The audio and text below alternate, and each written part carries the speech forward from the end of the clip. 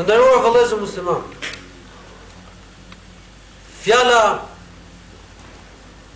më e mirë me të cilën mund të nisim bisedën tonë është porosia për devotshmëri. Ne lexuam këtu para jush tri ajete në të cilat Allahu subhanahu wa taala na porosit që të jemi të përkushtuar ndaj tij. T'i frikësohemi atij. Allahu i Madhërishëm ka thënë: O njerëz, frikësohuni Zotit tuaj. Pra këtu drejtohet Allahu i Madhërishëm të gjithë njerëzve pa përjashtim. Të gjithë duhet që t'i frikësohen Allahu subhanahu wa taala. Në ajetin tjetër ka thënë, o ju të cilët keni besuar, frikësohuni Allahut. Po ashtu edhe në ajetin tjetër, frikësohuni Allahut dhe thoni fjalë të drejta. Atëherë të dashur vëllezër, Allahu i Madhërishëm nëpërmjet ajeteve të Kuranit Na bën thirrje të gjithëve që t'i frikësohemi Atij, që t'i druhemi ndëshkimit të Tij, që të ruhemi nga zjarri i Xhehenemit. Thirrja për t'u frikësuar Allahut subhanahu wa taala. Porosia për devotshmëri është porosia që Allahu subhanahu wa taala e ka dhënë për njerëzit e mëhershëm, po ashtu dhe për të mëvonshmit. Domethënë për krejt njerëzinë, për krejt popujt. Allahu i Madhërishëm ka porositur që t'i frikësohemi Atij. Allahu ka thënë në Kur'an, "Wa laqad wassayna alladhina utul kitaba min qablikum wa iyyakum an ittaqullaha." Ne kemi porositur ata të cilët ishin para jush, edhe juve, që t'i frikësoheni Allahut. Domethënë janë porositur krejt njerëzit, që nga koha e Ademit.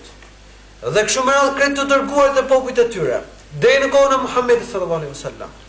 Po ashtu dhe krejt ymmeti i Muhammedit sallallahu alejhi ve sellem deri në ditën e gjykimit. Të gjithë Allahu i Madhnishëm na ka porositur që t'i frikësohemi Atij. T'i druhemi ndëshkimit të Allahut subhanehu ve teala. Kjo është devotshmëria. Devotshmëria është kreu i punëve të mira. Kreu i punëve të mira është që njeriu t'i frikësohet Allahut. Që njeriu në zemrën e tij të ndjejë frikën prej Allahut të Madhërishëm. Që njeriu ta mbushë zemrën e tij me frikë prej Allahut. Se nëse robi do të ketë frikë prej Allahut në zemrën e tij, atëherë kjo do ta motivojë atë që të veprojë punët e mira dhe të largohet nga punët e këqija.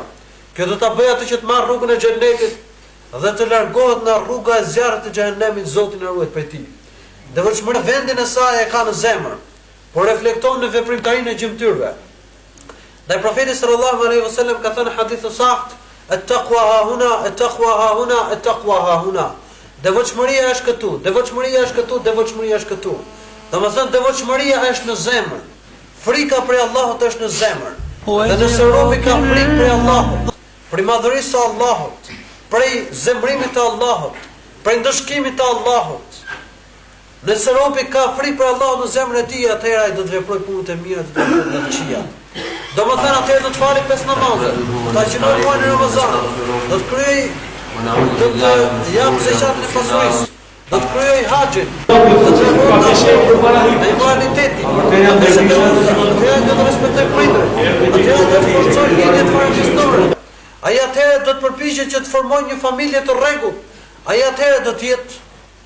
tamam musliman siç duhet.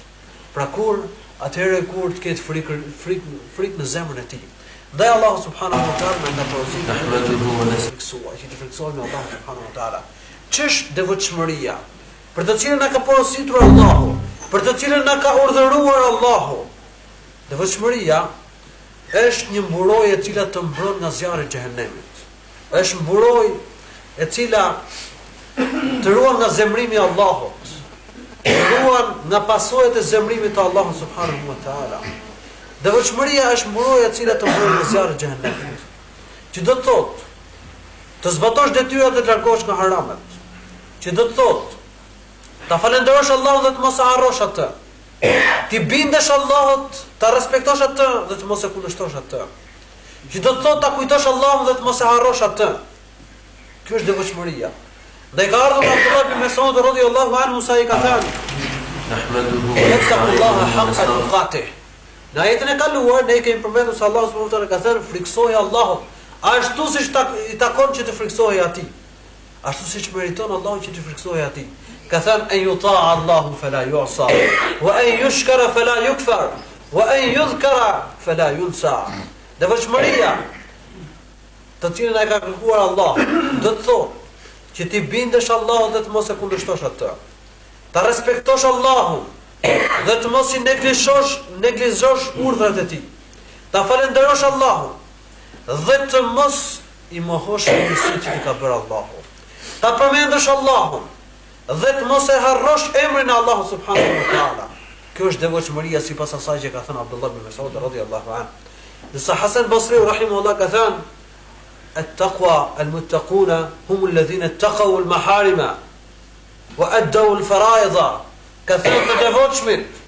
Njerëzit e devotshëm janë ata të cilët largohen nga haramet dhe veprojnë detyrat.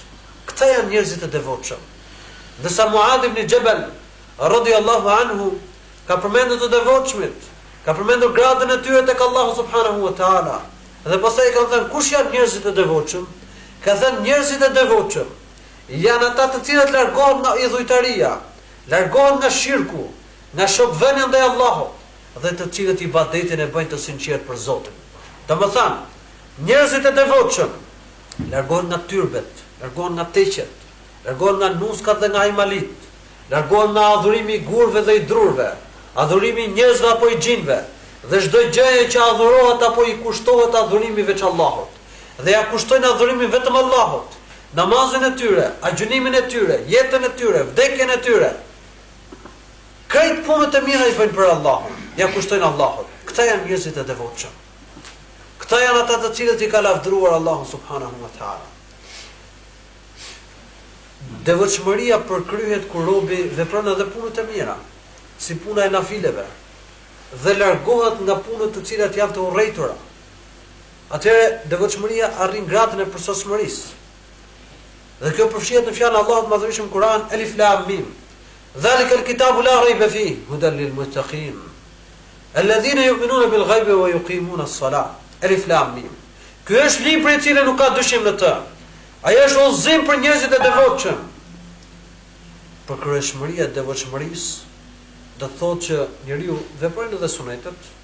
punojnë edhe punët nafile, punët e vullnetare dhe të largohet dhe nga punët të cilat i ka urryer sheriati. Në këtë mënyrë besimtari e përsos devotshmërinë. Prej devotshmërisë është që njeriu të ruhet edhe prej gjërave të cilat të cilat nuk janë të ndaluara qartë në mënyrë të qartë, por druhemi se mos jenë haram. Dhe njeriu nuk arrin gradën e devotshmërisë derisa të lënë edhe disa gjëra të cilat janë prej hallallit. Nga frika se mos të jenë ato haram. Prandaj kanë thënë shumë prej dijetarëve tanë se njeriu nuk arrin gradën e njerëzve të devotshëm derisa të lajnë edhe shumë prej gjërave të cilat janë hallall nga frika se mos ato janë haram. Edhe kështu njeriu mbron fenë e tij. Kështu njeriu ruan veten e tij nga harami, ruan nderin e tij, ruan dinjitetin e tij dhe ruan fenë e tij nga harami.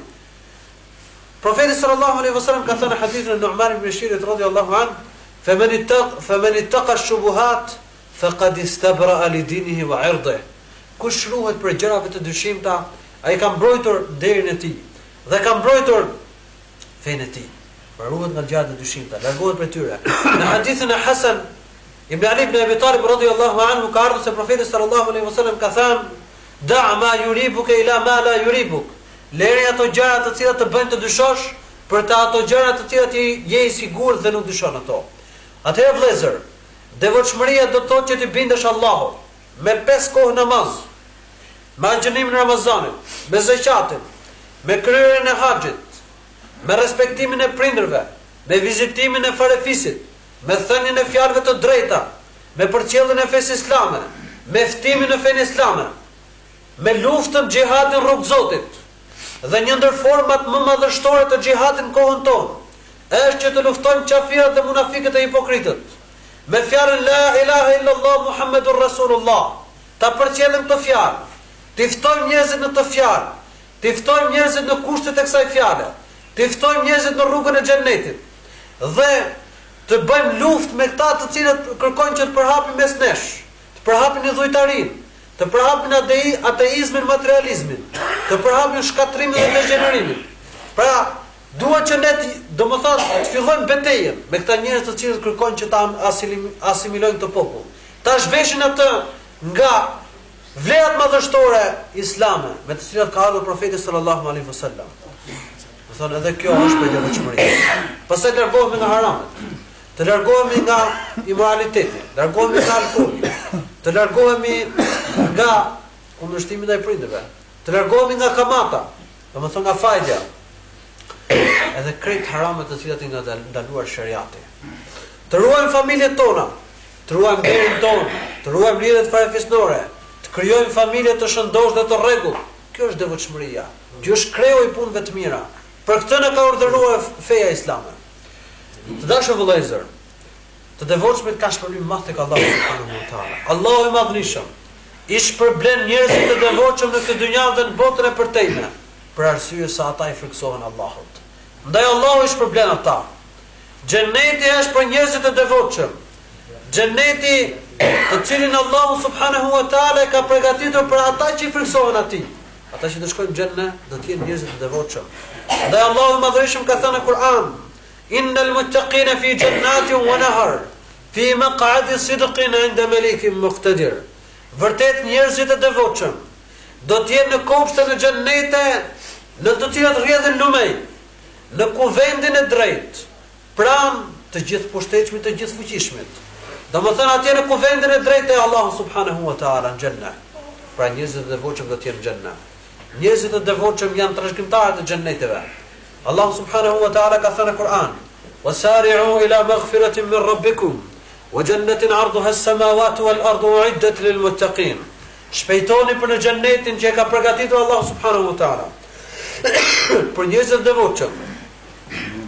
gjerësia e të cilit është sa gjerësia mes tokës dhe qiellit.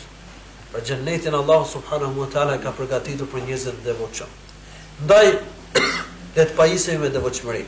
Le të bëhemi të devotshëm në mënyrë që të arrijmë xhennetin që e ka përgatitur Allahu për të devotshmit. Allahu është me njerëzit e devotshëm, domethënë Allahu është me ata njerëz që i frikësohen atij. Dhe jo me ata që nuk i frikësohen Atij. Allahu është me ata që ndjejnë frikën e Allahut, me ata që i frikësohen zemërimit të Allahut, me ata që i frikësohen zjarrit të Xhehenemit. Ndaj Allahu subhanehu ue teala ka thënë në Kur'an, Inna Allahe ma'al muttaqin. Vërtet Allahu i Madhërishëm është me njerëzit e devotshëm. Allahu i don njerëzit e devotshëm. Allahu i don njerëzit e devotshëm.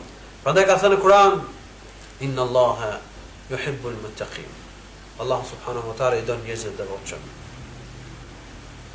Gjithashtu ka thënë në Kur'an, "Bela men aufa bi ahdihi wa taqa, fa inna Allaha yuhibbu al-muttaqin." Po si jo?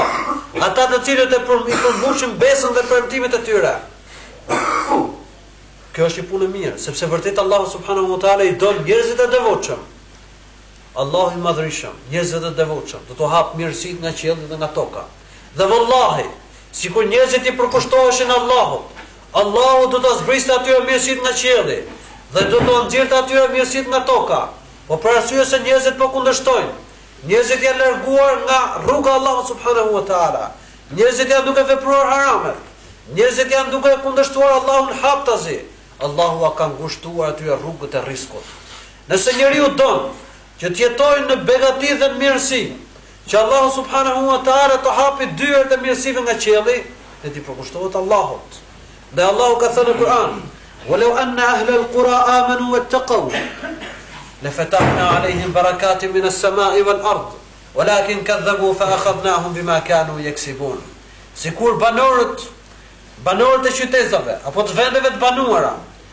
T'i frikësoheshin Allahut.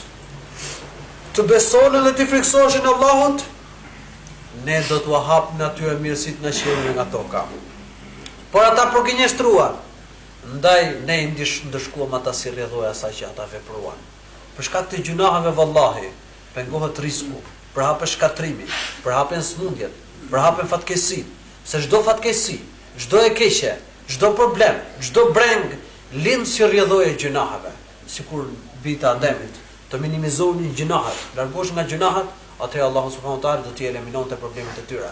Ndaj në kohën e Isa ibn Marjam alejhi salatu wan selam, do të ketë bollëk dhe mirësi të madhe, sepse atëherë shkatërrohet kufri, atëherë dominon teuhidi, atëherë dominon njëshmëria e Allahut, atëherë do të thyhet kryqi, atëherë do të theret derri, atëherë nuk do të ketë veçse muslimanë në tokë,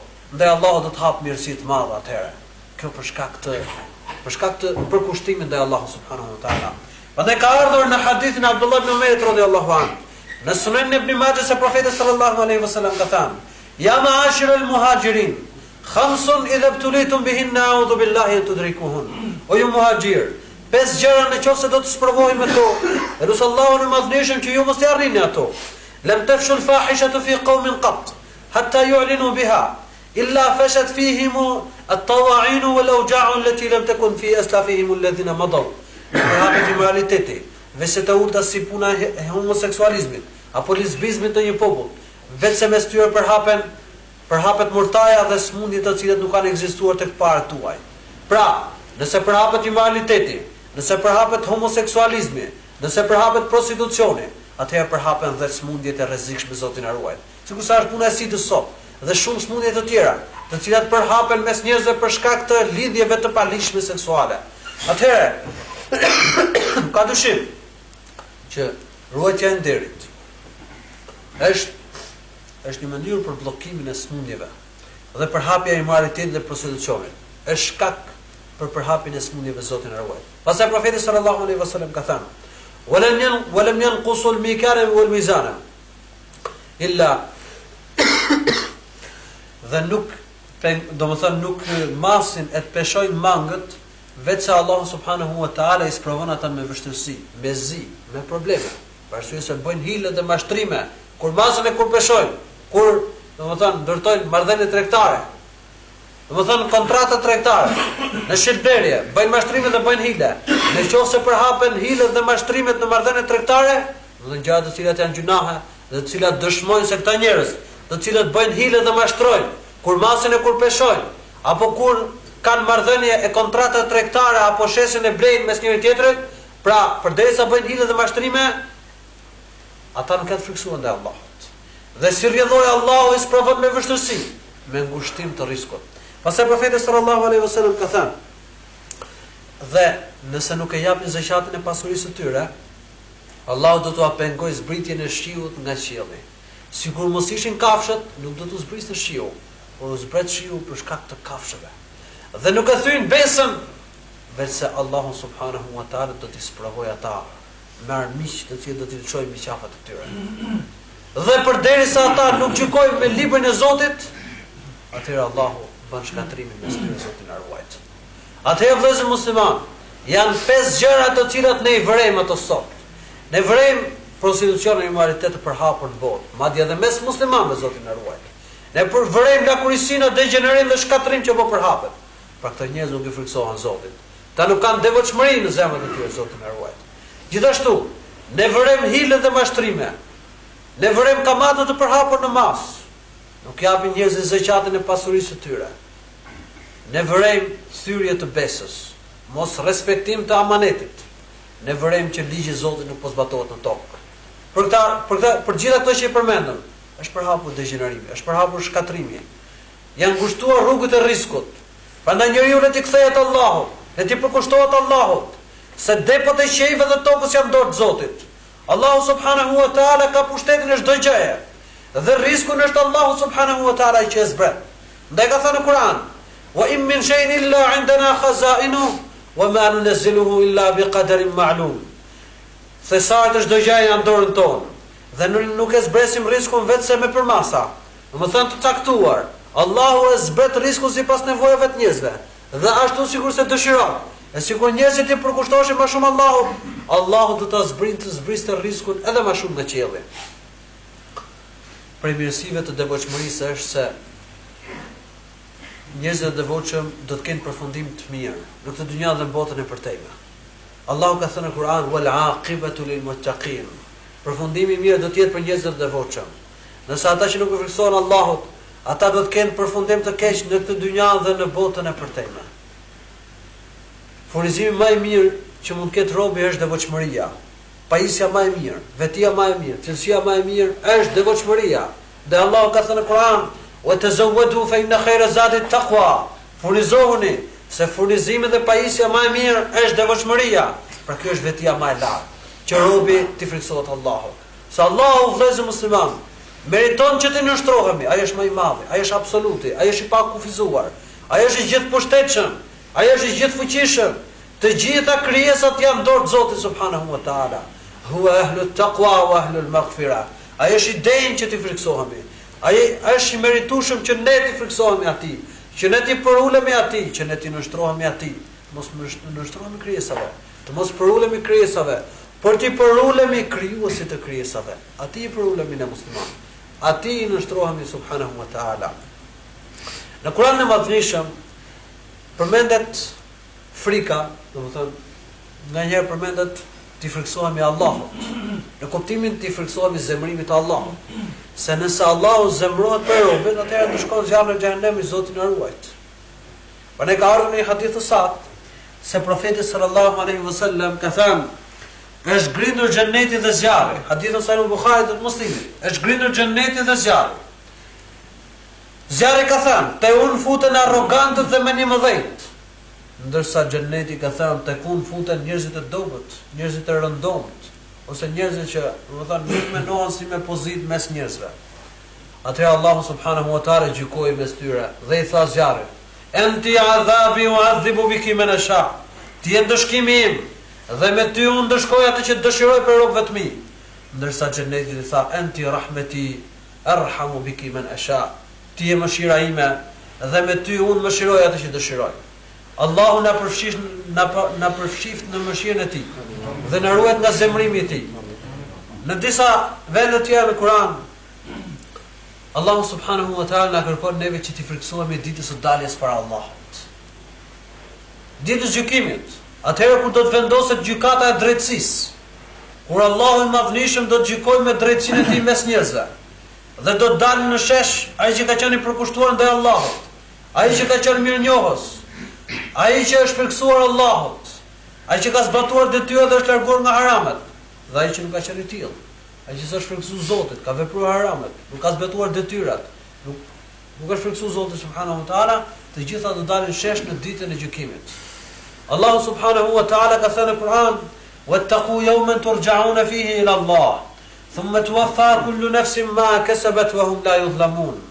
Frikësojuni ditës kur do të ktheheni para Allahut, kur do të dilni para Allahut subhanehu ve teala, dhe atje do të shpërblehet çdo nefs për atë që ka vepruar, dhe aspak nuk do t'u bëhet padrejtësi. Gjithashtu Allahu i Madhërisëm ka thënë në Kur'an: "Wa liman khafa maqama rabbih jannatan." Ai që i frikësohet daljes para Allahut ditën e gjykimit, do të ketë dy xhennete. Pra xhenneti është për ata që i frikësohen Allahut subhanehu ve teala. Gjithashtu në disa ajete të tjera në Kur'an, Allahu i Madhërishëm na kërkon neve që t'i frikësohemi zjarrit, i cili, sikurse e përmenda pak më parë, është pasojë e zemërimit të Allahut. Është vendi ku Allahu ndëshkon ata që është zemëruar prej tij. Ndaj ka thënë në Kur'an, "Wattaqun nar allati uiddat lil kafirin." Frikësohuni zjarrit i cili është përgatitur për qafirat. Gjithashtu ka thënë në Kur'an, Wattaqun nara allati waquduha an-nasu wal hijara u'iddat lil kafirin Frikësohuni zjarrit, lënda e të cilit janë gurët dhe njerëzit, i cili është përgatitur për qafirat. Allahu na ruajt prej zjarrit të Xhehenemit. Të dashur vëllezër, Profeti sallallahu alaihi wasallam shpesh i porosiste shokët e tij për devotshmëri, për këtë që po e themi, domethënë me pas frikë Allahut. me vlerësu madhërinë e Allahut, me ju frikësu zemërimit të Allahut, ndëshkimit të Allahut, se ai që ka frikë në zemrën e tij, domethënë i frikësohet zemërimit të Allahut, ai zbaton detyrat, largohet nga haramat.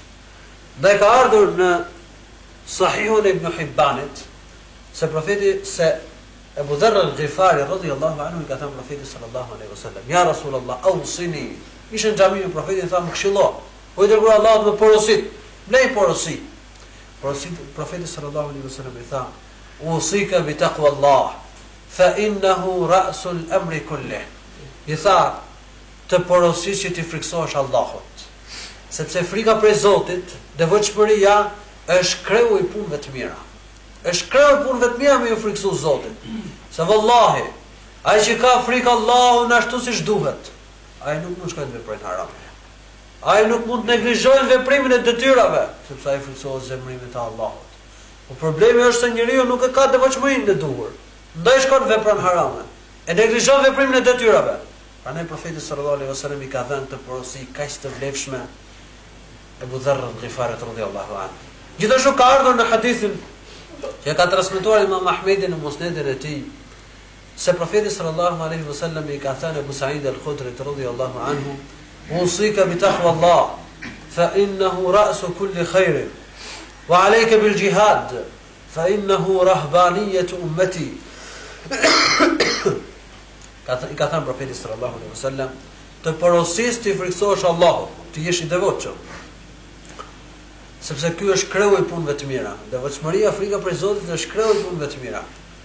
Dhe bëj xhihad në rrugë të Zotit. Kur bëhet fjalë për betejën në rrugë të Zotit, me bë xhihad kundra qafirave, që të triumfojë fjala la ilahe illallah dhe të mposhtet kufri, atje ku njerëzit shkojnë e garojnë dhe flijojnë veten e tyre, fizikun e tyre, trupin e tyre dhe pasurinë e tyre për hir të Allahut, që të triumfojë la ilahe illallah dhe të mposhtet kufri e çdo gjë që bie në kundërshtim me parimin e njëshmërisë së Allahut subhanahu wa taala. Domethënë, Profeti sallallahu alejhi wasallam thotë, "Wa alejke bil xhihad", dhe bëj xhihad në rrugë të Zotit, sepse xhihadi është murgësia e ymetit tim. Murgjit kanë ekzistuar në popujt e kaluar, domethënë ata adhuronin nëpër shpella, nëpër kasolle, ndaheshin nga dynjaja dhe i përkushtoheshin Zotit dhe atje bënin ibadet Allahut subhanu teala. Profeti e ka hedhur poshtë një gjë të tillë, domethënë e ka abroguar këtë rregull, nuk ekziston një gjë e tillë në fenë islame që njeriu të vetmohet nga njerëzit, dhe të shkojë në shpellë dhe të bëjë ibadet e ndahet nga njerëzit e kështu me radhë, por ajo që ekziston tek ne muslimanët është xhihadi.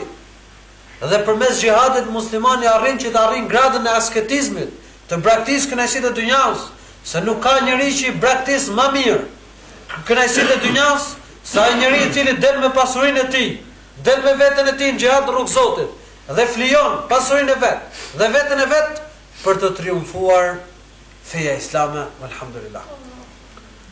Atëherë vëllezër musliman, profeti sallallahu alaihi wasallam ka porositur për devotshmëri. Në Haxhin e Lamtumirës profeti sallallahu alaihi wasallam ka porositur për devotshmëri. Ka porositur shokët e tij për devotshmëri. Haxhi i Lamtumirës atje profeti ka dhënë porosi madhështore dhe një ndër to ishte edhe devotshmëria. Një herë profeti sallallahu alaihi wasallam i porositi shokët e tij me, me një porosi shumë prekëse. Aq sa lotuan sytë e tyre dhe u ndrojtën zemrat e tyre dhe i thanë Profetit, Ja Rasulullah, ausina, fa ka'annaha maw'izatu muwaddi'. I thanë, O i dërguari i Zotit, na lë një porosi, se këto këshilla që na ke dhënë sikur të ishin porosi të një njeriu që do ndahet me ne. Profeti sallallahu alejhi wasallam u tha,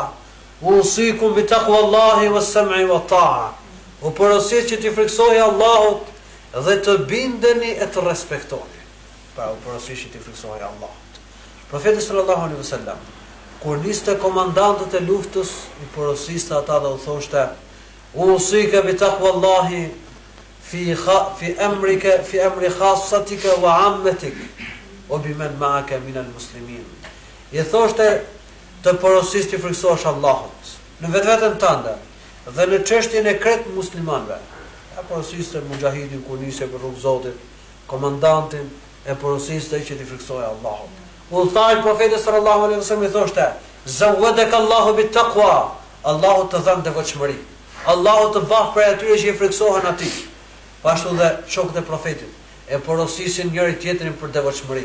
I thoshin njëri-tjetrit ittaqillah, Omer ibn Khattab, Ebu Bekr as-Siddik radhiyallahu anhu, ligjëronte mes njerëzve dhe u thoshte atyre, Ejuhan nas, usikum bi taqwallah, O njerëz, ju porosis që t'i frikësoheni Allahut subhanahu wa ta'ala.